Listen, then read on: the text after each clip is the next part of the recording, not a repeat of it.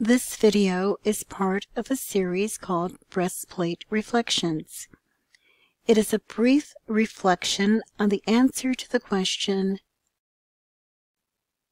What's in a name? So, have you ever spoken to someone who is sincerely wrestling with the knowledge that our Hebrew Messiah of Scripture could not be named Jesus? Well, of course, that person was probably each of us after we first learned that the letter J is only 500 years old.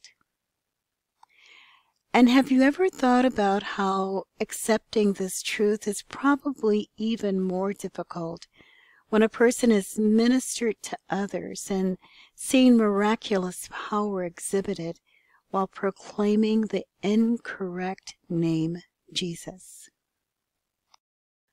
Well, this video is for all those who may have heard or may have never heard an explanation of why so many have come to know that our Hebrew Messiah of Scripture had a Hebrew name. And his Hebrew name is found throughout Scripture, although it's been hidden by translation.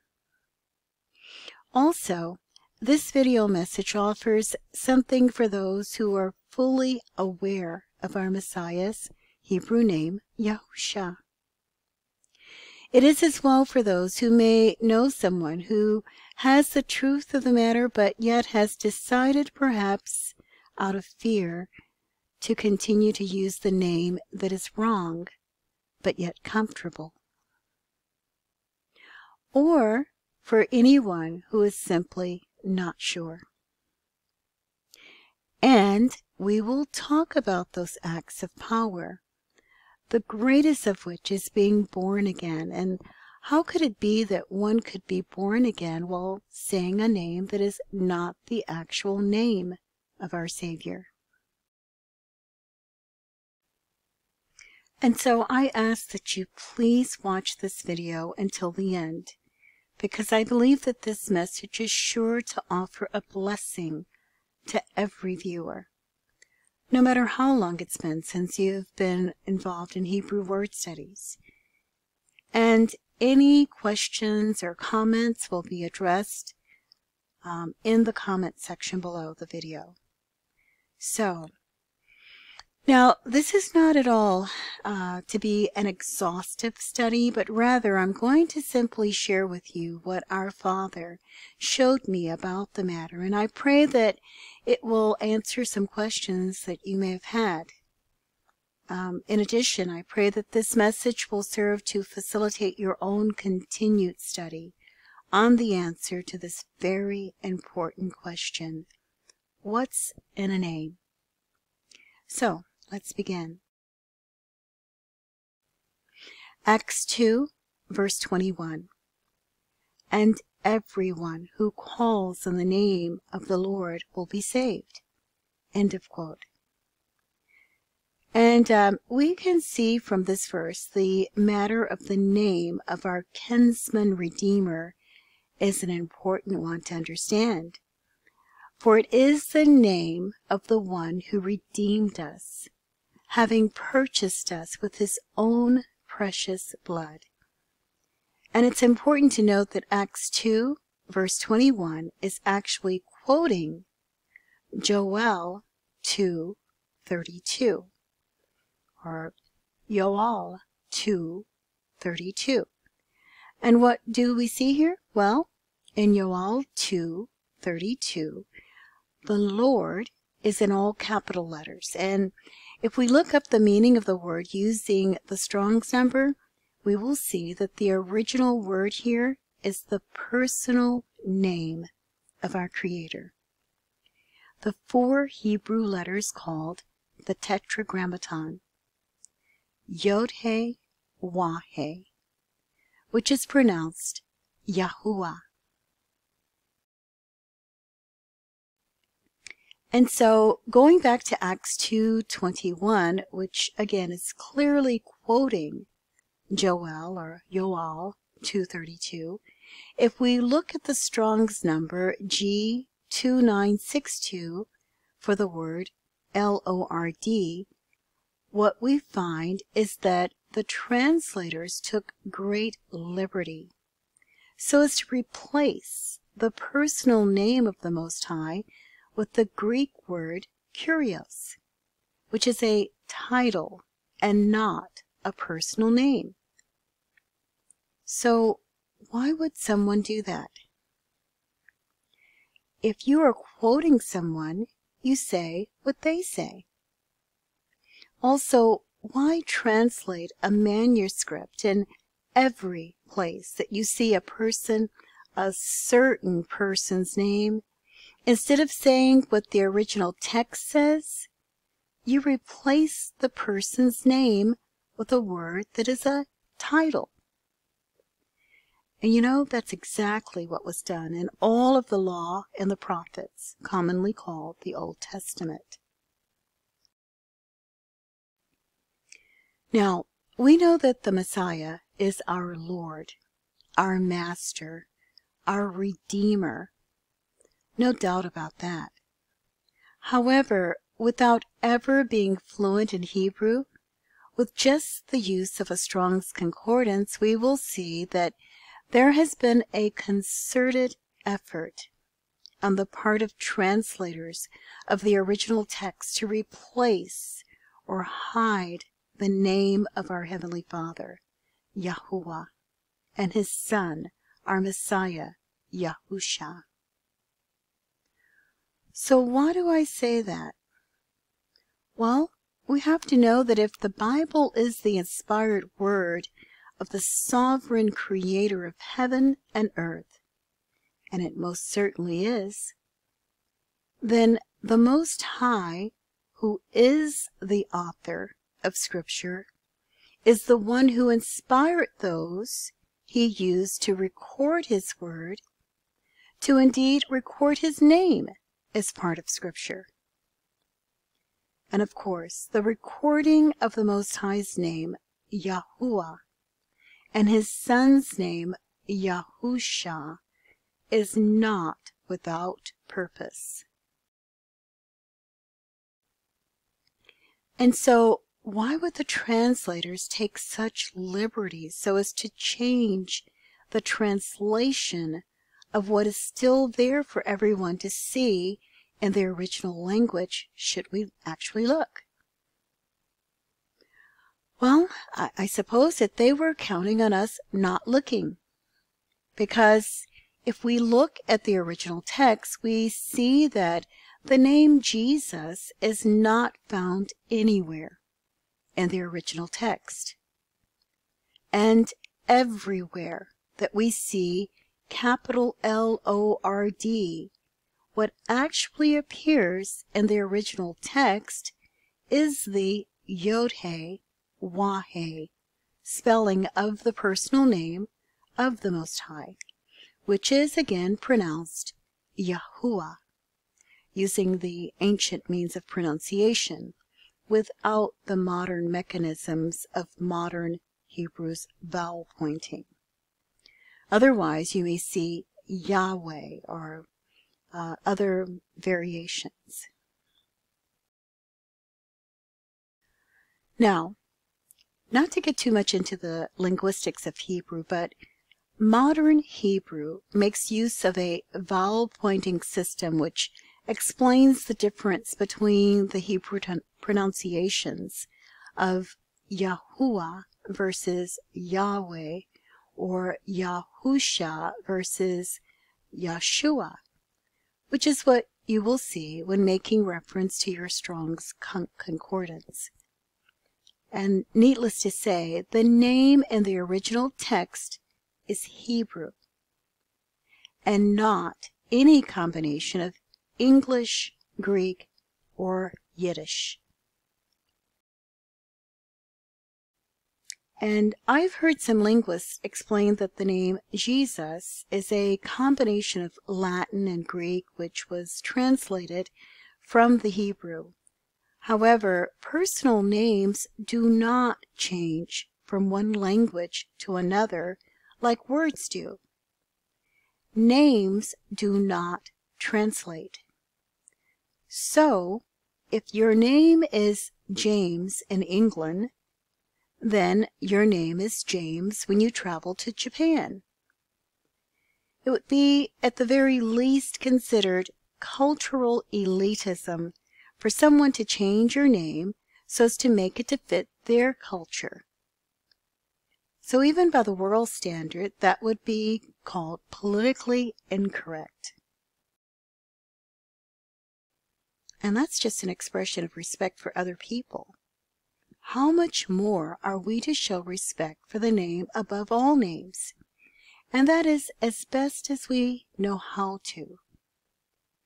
And so it is that in that spirit, let's continue. Now, careful consideration of Scripture shows us that how even with this travesty of the hiding and replacing of the Most High's name, our Father has not been denied his plan of salvation for his people. We will come back to this in a moment, but let's look at another scripture. Acts 4, verse 12. Salvation is found in no one else, for there is no other name under heaven given to mankind by which we must be saved. End of quote. And so most who would say that they were scripturally born again would say that this happened while sincerely thinking and saying that the name of the Messiah was the name Jesus.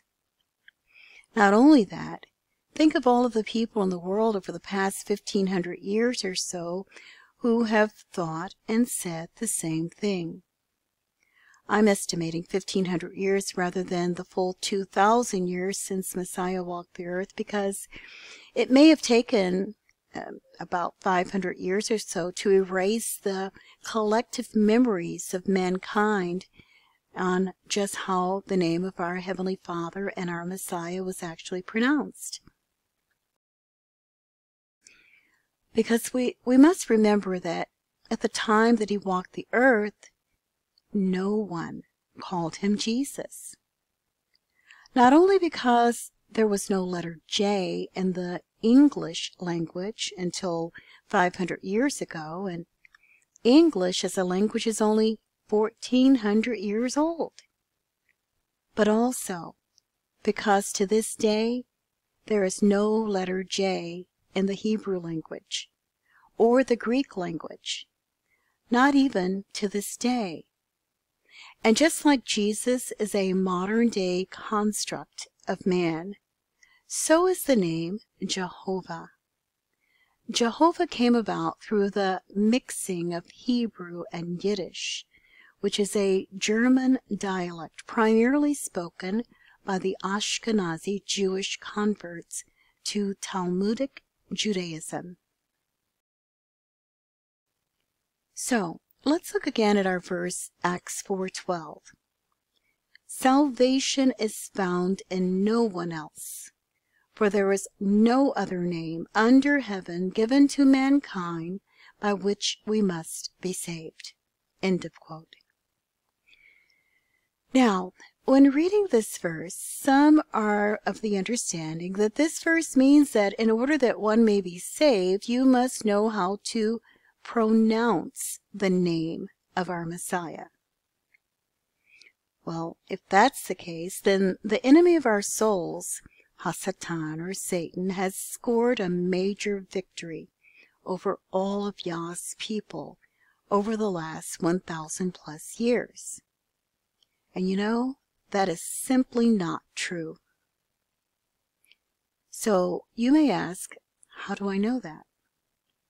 And my answer to you is twofold. Number one, we must understand the word name from a biblically Hebraic perspective. And number two, we must understand the nature of our Heavenly Father as demonstrated to us by our Messiah, Yahusha, who is erroneously called Jesus. So, let's start with number two. Let's look at again at Acts 17, uh, 29 to 30. I'm sorry, this is Acts 17, verses 29 and 30. Acts 17, 29 to 30. Reading. Being then Elohim's offspring, we ought not to think that Elohim is like gold or silver or stone, an image formed by the art and imagination of man. The times of ignorance Elohim overlooked, but now he commands all people everywhere to repent. End of quote. So, here we see the nature of our Father is one of mercy toward ignorance. But we also see here that he expects that when we know better, we should do better. In other words, we should not ignore truth, especially when we have partaken of the nature of the Spirit of truth, having been born from above. And so we see here that while we were yet in ignorance of Yahuwah's righteousness, that he mercifully saved us. And it must be noted here that the word ignorance here is not making reference to a, a lack of academic knowledge. The word ignorance here is not even talking about not being aware of Yahuwah's law or Torah, which is his teaching and instruction but rather the word ignorance is used here in the sense of lacking intimate heart knowledge of Yahuwah's Torah or law. 1 Timothy 1 verse 13 Though formerly I was a blasphemer, persecutor, and insolent opponent, but I received mercy because I had acted ignorantly in unbelief. Paul was a Torah scholar. As a Pharisee who sat at the feet of Gamaliel, he was required to memorize all of the Torah and prophets, commonly called the Old Testament. The ignorance spoken of here is the ignorance of unbelief, which shows a vacancy an intimate heart relationship with the very word that Paul had academically committed to memory. And then let's look at Matthew 7 21 to 23. Quoting, Not everyone who says to me, Lord, Lord, will enter the kingdom of heaven, but the one who does the will of my Father who is in heaven.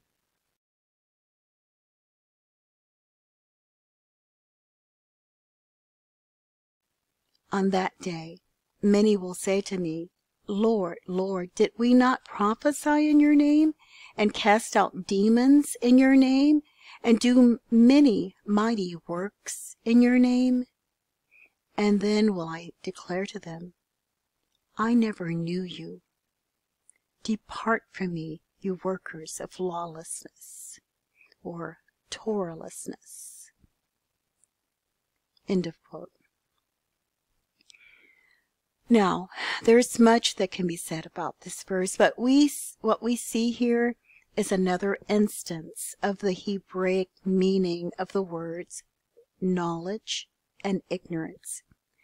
And it's important that we understand Scripture from the perspective of the language and culture used to record it, and not impose the language and culture of the world.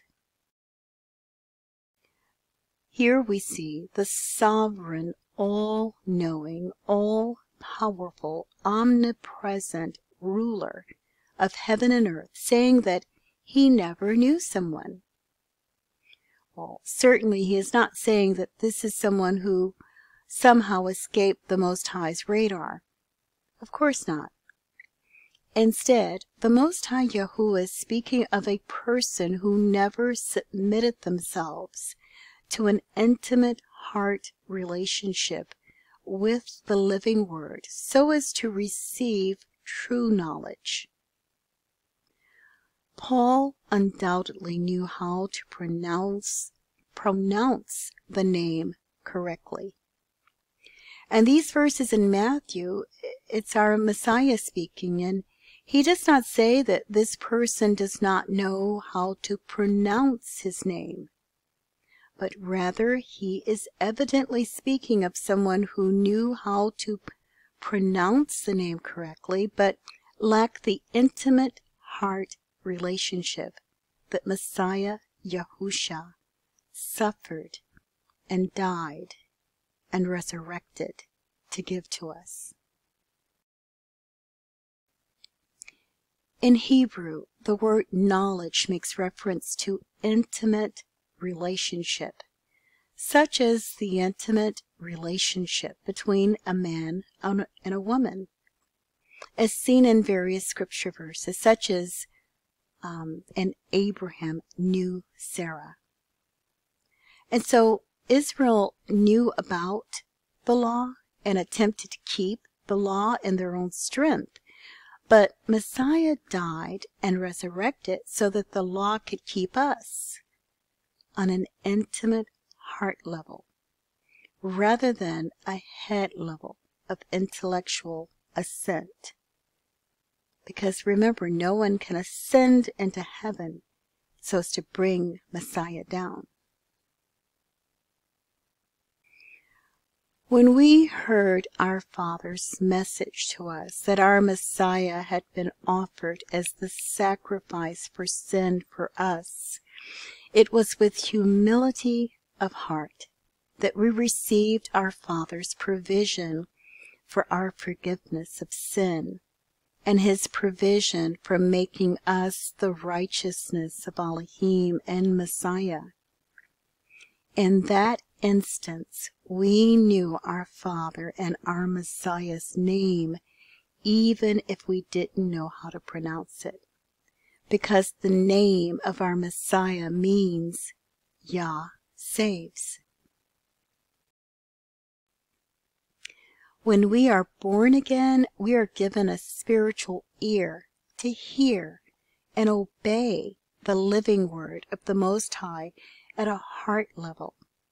The spiritual heart being the spirit soul connection within our physical bodies, which serve as Elohim's temple.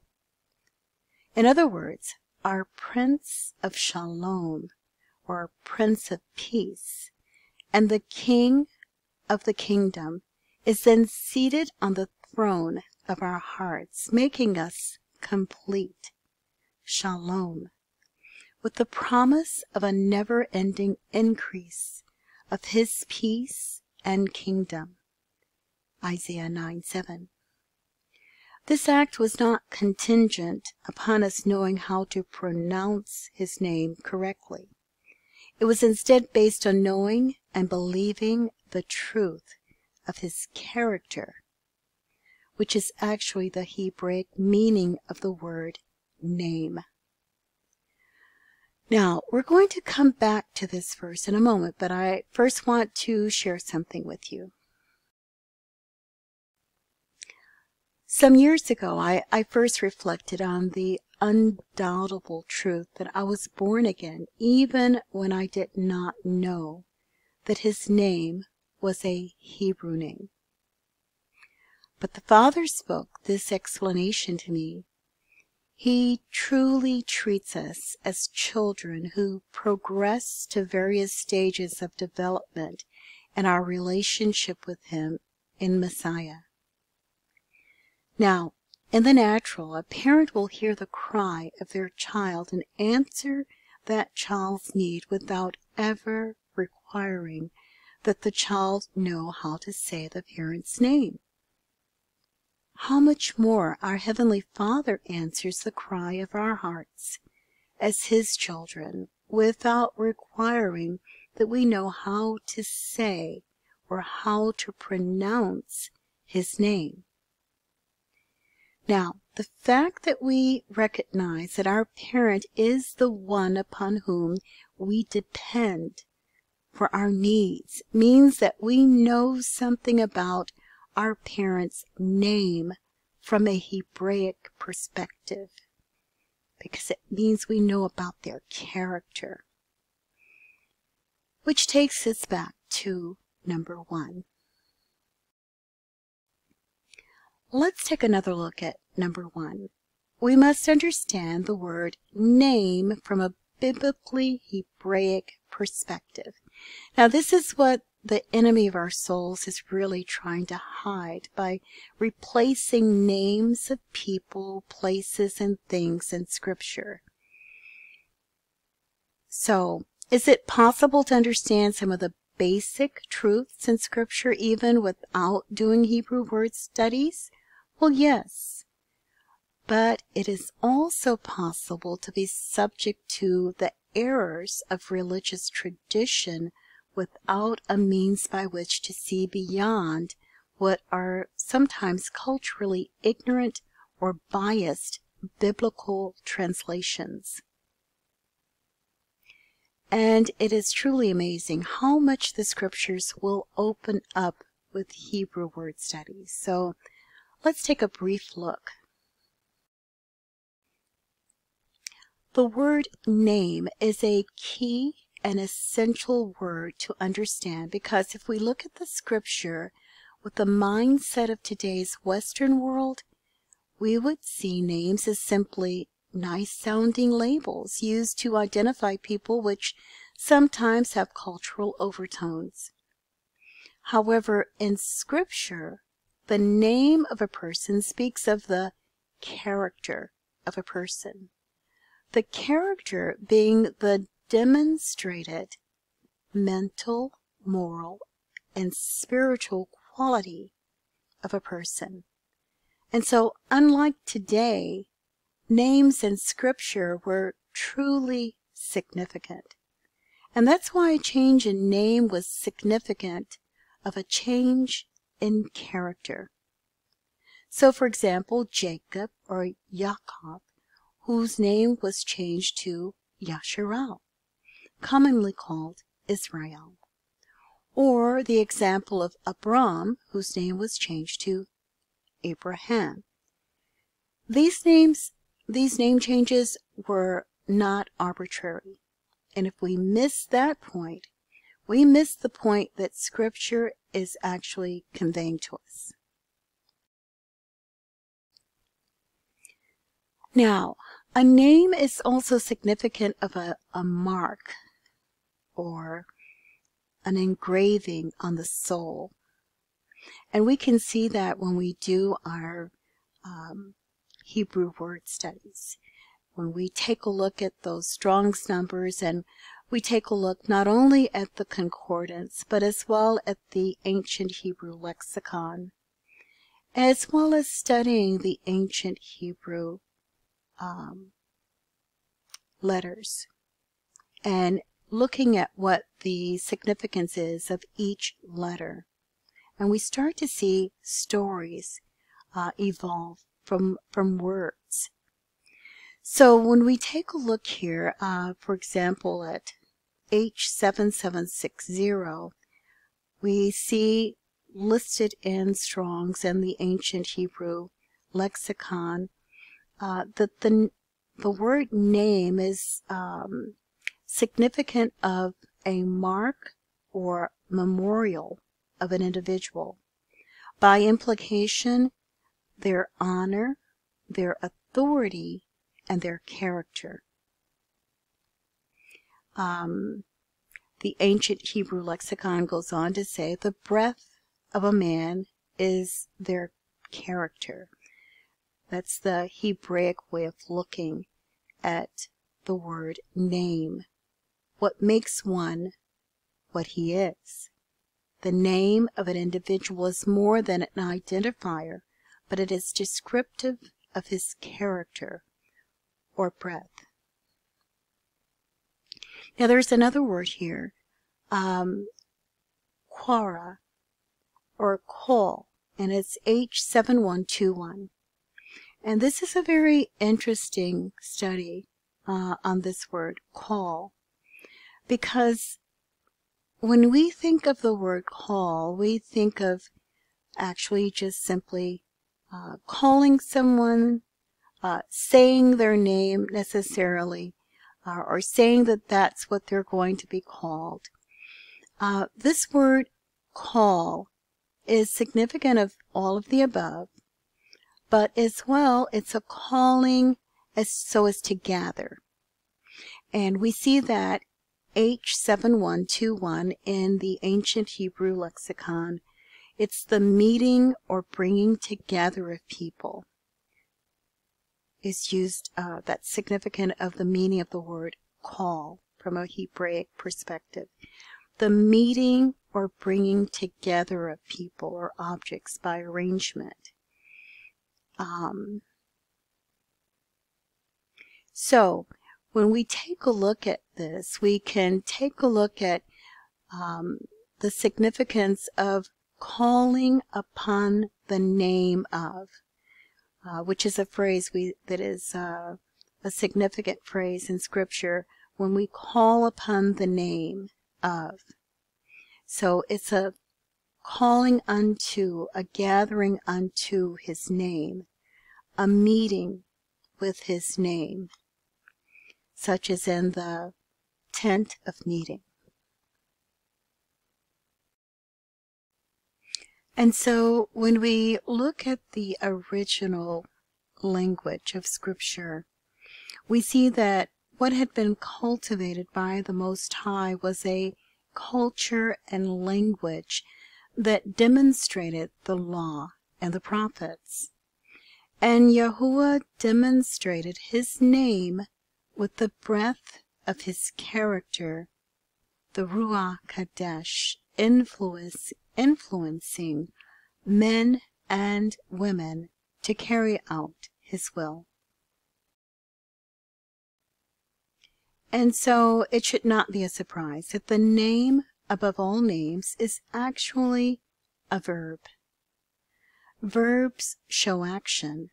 And so when it is said that the Hebrew understanding of a name is the character of a person, it is saying that the name of a person is that which the person does. It is the essence of the habitual actions that that person does. Their character, their name, the Most High tells us that although his name is seen in all of the prophets' names, the name above all names is Yah saves. And this is demonstrated in the actions that Messiah took in fulfillment of the word. And this is also seen in the Hebrew pronunciation of the name that was prophesied that he would be named a Hebrew name given by his Hebrew mother. Greek may have been the language of commerce at the time, but they spoke Hebrew to one another in the community of Yehuda or Judea. One example is Saul on the road to Damascus, who spoke Hebrew, and scripture specifically tells us that he spoke Hebrew. And then Messiah, as he was dying on the stake, Scripture specifically tells us that he spoke Hebrew. Now, on this slide, we see some um, examples of how we are able to gather uh, more insight as we take a look at the original language as opposed to um, the evolving of language um, that we have at hand today. And we're just going to touch on this on this slide. Uh, it's so much so that um, I think that this is something that you would definitely want to follow up with on your own so as to really be able to gather more from Hebrew word studies. So let's take a look here at Jerusalem.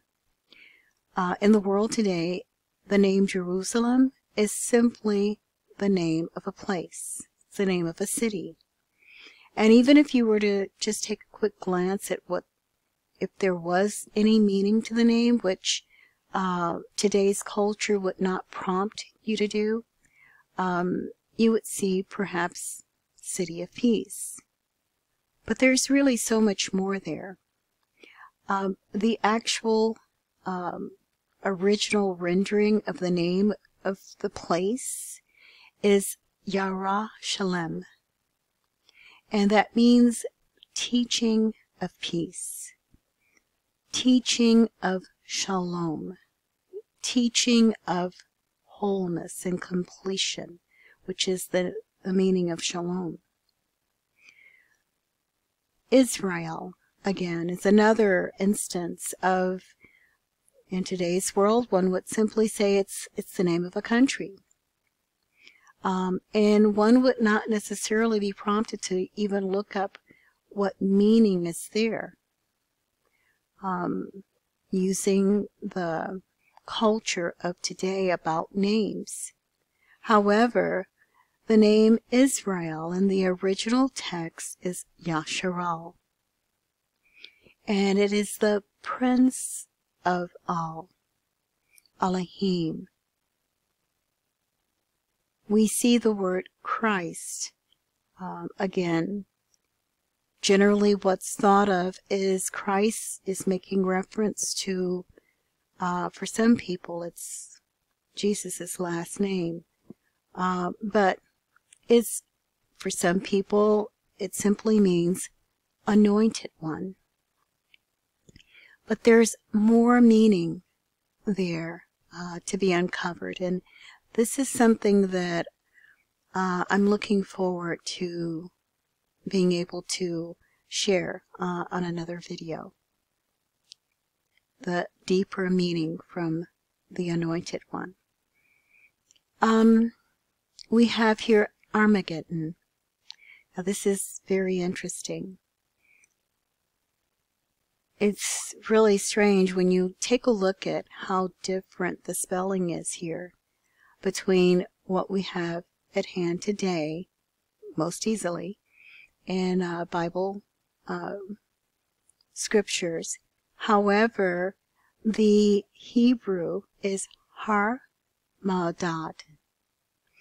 Now, I'm going to leave a link in the underneath the video, and I would strongly encourage you to take a look at what is being shared uh, in as much as insight into this word.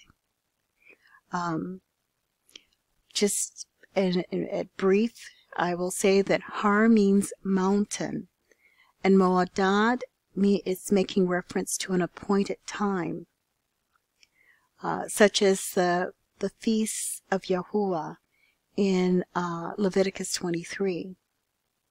But again, I'm trying to not make this video too long, and I will place the link below. I strongly encourage you uh, to take a look at the information that's being shared with us there. And then, of course, Jesus. Um, I don't know of any meaning to the, the word Jesus, uh, that it's simply a name, okay? However, when we look at the, the original text, the name of our Messiah is Yahusha, and there is most definite meaning there. It means that Yah saves. Yah being a shortened form of Yahuwah. Yah saves.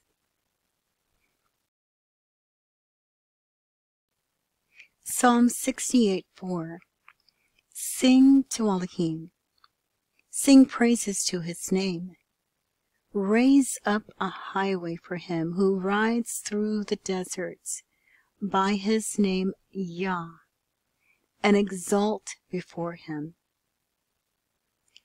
Exodus 15:2, Psalm 118:4, and Isaiah 12:2 all contain the same verse. Yah is my strength and song, and he has become my deliverance. Isaiah 26 4 Trust in Yahuwah forever, for in Yah, Yahuwah, is a rock of ages. And then we have Isaiah 38, verses, uh, verse 11. I said, I shall not see Yah, Yah in the land of the living. End of quote. So in these verses we see the name Yah, which is Strong's H3050, which is um, the shortened version of the name Yahuwah, H3068. And we see both versions of the Most High's name in Yasha Yashayahu or Isaiah 26:4. Now again, when making reference to Strong's, you will see uh, J-A-H or Jah or Jehovah, which we understand shows the modern Hebrew or Yiddish influence on the pronunciation. But nonetheless, the shortened version is what we see time and again in the names of the prophets and in the name of our Messiah, Yahusha. Isaiah, Yashayahu, Elijah or Eliyahu, Eliyahu, uh, Jeremiah or Yirmayahu, Judah or Yahuda, Yahuwah is Yahusha. Now these are just a few examples of the prevalence of the name Yahuwah in Scripture, and this is by no means meant to be a linguistic study, but rather to show that Scripture reveals to us both how to pronounce and the actual meaning of the name. And when we start to see what is revealed to us in the original text, which is readily available to us, we see both the prevalence of the name Yahuwah and the absolute absence of the name Jesus. Even in the world of business, a translator is entrusted with maintaining the integrity of that which is being communicated. If in the world of business a translator took upon themselves to replace personal names with titles and change names to suit their own purposes, it would be considered a serious matter, and that translator would undoubtedly be be dismissed from their position. Genesis 5, verses 5 to 32 is one of many genealogies that we find in Scripture, and just as an example of some of the depths of richness of our Father's Word, let's look at this literal translation of the names of the order of their birth. I'm sorry, this is a literal translation of names that are actually placed in order of their birth as they appear in these this genealogy. This translation can be found on the ministry website of Chuck Missler. And I, again, will leave a link uh, in the description box below um, because he also has a video uh, that he did um, that goes into greater explanation on this finding, along with um, more ministry links uh, that I will leave below this video, which will provide further insight on this subject. So what we have on this slide is two columns. To the left, the Hebrew names of the lineage of the first Adam, and in the right-hand column, we see the literal English translations of these names. When read in order, we can clearly see the master plan of salvation. So let's read it. Man appointed mortal sorrow. The blessed Elohim shall come down teaching. His death shall bring the despairing rest or comfort. Hallelujah. This, of course, is no coincidence. This is the sovereign will of our Heavenly Father prophesying of His sovereign plan of salvation, even with names of those He would have recorded in His book. If the Most High would so orchestrate that men would be born and named according to His will, and those names be specifically recorded in His book, does it appear that the origin or the original names of the inspired text and their literal translation don't matter to the Most High? No. I think that we can safely say that it definitely matters to him. Which brings us back then to Acts 17, verses 29 to 30. Let's read this again. Acts 17, verse 29 to 30. Being then Elohim's offspring, we ought not to think that Elohim is like gold or silver or stone an image formed by the art and imagination of man.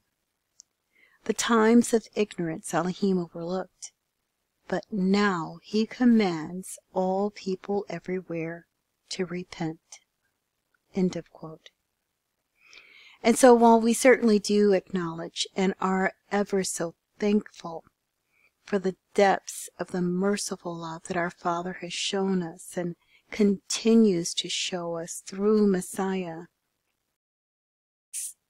Let us take a moment to reflect further on the first part of these two verses. In the first part of these two verses, we see that who is being addressed here is those of us who are born again and can indeed call the Most High Abba, Father. And so, as children of Elohim, let us not think that we can make Elohim to be who we think he should be. He is the potter, and we are the clay, not the other way around. Now, there is a scripture that immediately comes to mind here, and that's Exodus 32, verse 1 to 4 and it's the story of the golden calf, so let's read about it. Exodus 32, verses 1 to 4. When the people saw that Moses or Moshe delayed to come down from the mountain, the people gathered themselves together to Aaron, and said to him, Up, make us gods, who shall go before us. As for this Moses or Moshe, the man who brought us up out of the land of Egypt or Mizraim. We do not know what has come, what has become of him. So Aharon, Aaron said to them, Take off the rings of gold that are in, in the ears of your wives, your sons, and your daughters, and bring them to me. So all the people took off the rings of gold that were in their ears and brought them to Aaron or Aharon, and he received the gold from their hand and fashioned it with a graving tool and made a golden calf. And they said, These are your gods, O Israel, who brought you up out of the land of Egypt. Now, there is much that can be said about this passage of Scripture, but essentially we see what is re- referenced in Acts 17, verses 29 to 30. Again, Acts 17, 29 to 30 is speaking to those of us who have been delivered by Messiah and as children of the Most High are yet being delivered until we see the fullness of our deliverance. And Acts 17, verses 29 to 30 is warning us that even after being delivered, that we not be ensnared by the plots and schemes of the enemy of our souls, Hasatan, or Satan. we are warned that as we wait for our Messiah's return from heaven, that we be not deceived into again forming a false image of who Elohim is, not only in safeguarding the truth about how to pronounce his name, but as well in safeguarding our hearts with the truth of who Messiah is. For no lie is without purpose. Even as mankind has been waiting these 2,000 years for the return of our Messiah, the enemy of our souls has been at work to do what he does best, and that is to twist the word and replace the true image of our Messiah. For the power in the name of Yahusha is the power of the true character of the Most High being acknowledged, called upon, and exhibited. Of course, we know that Judas Iscariot knew exactly how to pronounce the name, but Judas Iscariot, like those who had been delivered out of Egypt or Mizraim, had formed a false image of who Messiah was, which caused Judas Iscariot to reject the true Messiah, even though he walked and talked and ate with our Messiah, Yahusha. Judas Iscariot had a false image of the Messiah that agreed with the zealots, among whom was Jesus Barzona, Barabbas.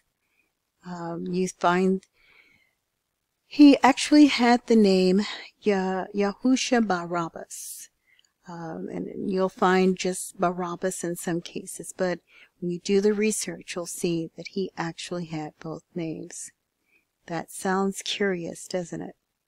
Well, this Barabbas, who the crowd shouted to Pilate to save and execute Messiah instead, the zealots' vain imagination of a Messiah was one who would deliver Yasharal or Israel from Roman rule. And of course, the Israelites had been delivered time after time from foreign rule.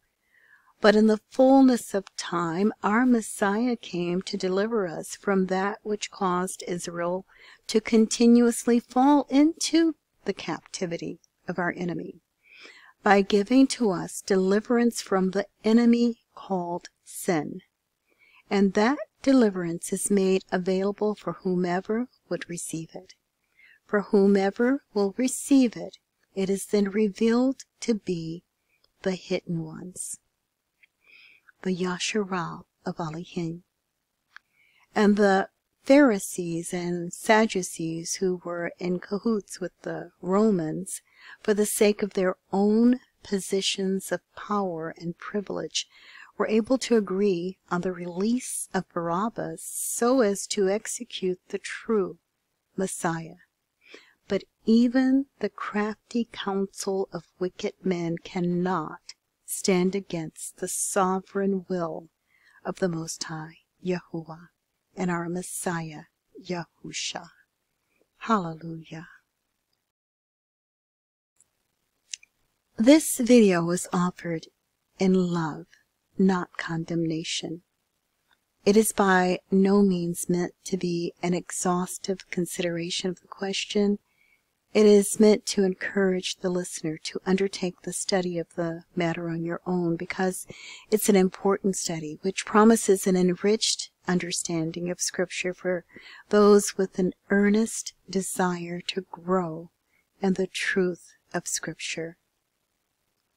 Hen Ushalom. Favor and peace.